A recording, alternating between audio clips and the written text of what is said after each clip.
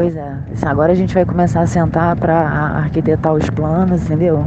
Eu só tô colocando você, o Ciro, claro, e o Carlão em sabendo de tudo, porque sinceramente o resto eu não confio muito. Então, porque as coisas vão começar a ficar sérias, entendeu?